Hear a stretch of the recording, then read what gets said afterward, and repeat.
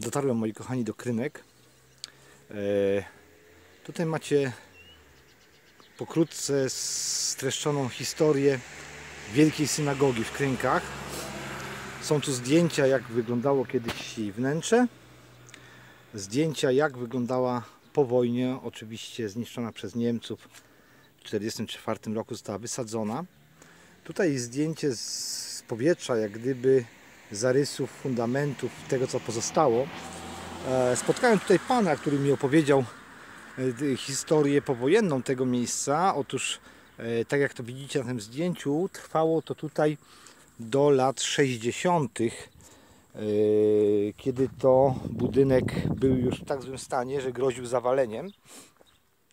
Wówczas polscy saperzy wysadzili resztki. O tutaj pokażę Wam co tu można zobaczyć z tego co zostało. Oczywiście są to po prostu yy, kamienie. Jak widać była ta synagoga zbudowana z, z głazów narzutowych ociosanych. Jak wiadomo jesteśmy na terenach polodowcowych. Sporo tutaj tych kamieni można znaleźć. O to jest właściwie wszystko, co w tej synagodze zostało. E, no, usłyszałem historyjkę o latających po krynkach głazach w czasie wysadzania tej resztek tej synagogi. E, pan, który mieszka tutaj kawałek w tą stronę, e, jeden z takich głazów znalazł w swojej stodole. No ale widać precyzja wysadzania wtedy była na nieco innym poziomie niż teraz. E, w Krynkach jest jeszcze jedna synagoga, która się zachowała. Jest y, synagogą hasycką, z tego co zdołałem do tej pory się dowiedzieć, ale jeszcze jej nie widziałem.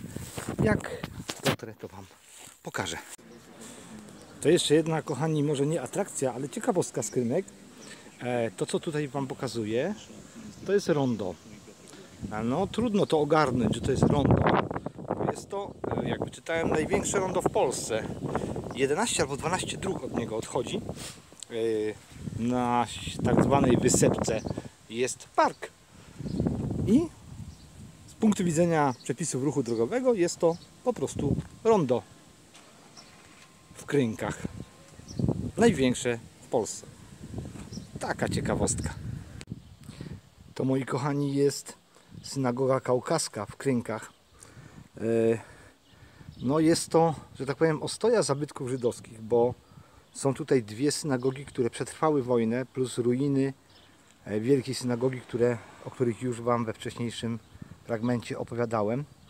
Tu jednak e, naprzeciwko tej synagogi mieszka pani Genovefa, która, która zawołała mnie, bo była spragniona rozmowy z drugim człowiekiem pozwoliła mi nagrać tą rozmowę i pokażę Wam ją w osobnym filmie. E, no bo uważam, że warto. Synagoga kaukaska, historia i dlaczego kaukaska, historia Żydów y, skrynek y, na tablicach, które będzie widać y, w tym filmie. Zatrzymajcie sobie, poczytajcie. Ostatnia z synagog moi mili e, w Krynkach, aczkolwiek nie ostatni zabytek pożydowski, że tak powiem, ponieważ pojadę jeszcze na cmentarz. Jak wiecie, lubię cmentarze. E, Kubuś, mam nadzieję, że film Ci się będzie podobał. To dla Ciebie te synagogi, no i dla siebie, bo ja je bardzo lubię. E, przypominam, w Krynkach są lub były aż trzy więc ruiny Wielkiej Synagogi można zobaczyć. E, synagogę kaukaską i tą synagogę hasycką. Zobaczymy jeszcze cmentarz, ale to nieco później. Trzeba się przemieścić. To na razie tyle. No, trzeba przyznać, że Kościół katolicki, choć nie wygląda na stary, to też jest piękny i okazały. Piękne, wysokie, neogotyckie okna, strzeliste wieże. Bardzo mi się podoba. No ale jak wiecie, e, niechętnie wchodzę do kościołów, do środka. więc na pewno można zobaczyć w internecie. Ja tylko zaznaczam, że jest tu taki piękny kościół. Nadal jesteśmy w Krynkach. Zmierzamy do ruin posiadłości Devironów. Tak się to pisze, nie wiem czy tak się to czyta, bo francuski nie jest moją najmocniejszą stroną. E, a to chyba z francuskiego.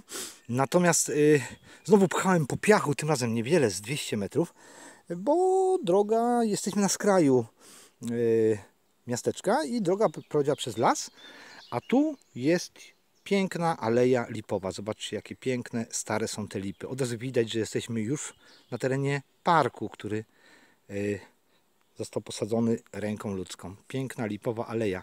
Jadę dalej i za chwilę pokażę Wam co tam zostało z tego majątku Devironów. No to dotarłem. Miejsce jest niedostępne. E, nie jest łatwo tutaj podejść czy podjechać. E, stoją ruiny majątku Devironów.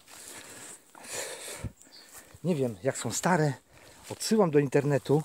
Wybaczcie, że ja tak często odsyłam Was do internetu, ale kiedy kręcę, czytam, są piwnice. Kiedy kręcę, czytam, to mam zajęty aparat i niewiele mogę, mogę sobie sprawdzić. Mogę sprawdzić później.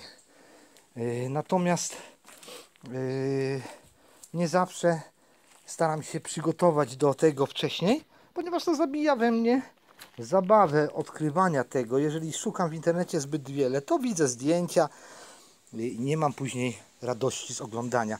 Yy, no miejsce jest bardzo malownicze, Y, jak to ruiny, trzeba uważać gdzie się staje, ponieważ tutaj wszędzie były piwnice i są dziury, można spaść.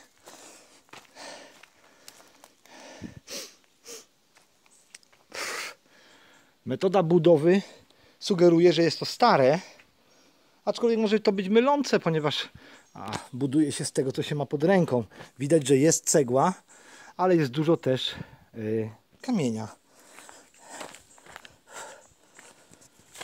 Widać miejsce jest popularne. Ogniska tu płoną. O! Nie wiem, czy to jest jedyna ruina po tym majątku. O! E, są tutaj resztki parku. Ach, mnie gryzą te końskie muchy. Ale patrzcie jak jestem twardy, ręka mi nawet nie drgnie. No cóż, trochę się pomęczyłem. Yy... Czy było warto? Hmm. Punktu widzenia doznań estetyczno-architektonicznych to pewnie nie. Ale ilu z Was było w majątku Devironów? ja byłem. Yy... No i Was zabrałem. Idę się rozejrzeć, czy coś tu jeszcze jest. Jeśli jest, to Wam oczywiście nagram.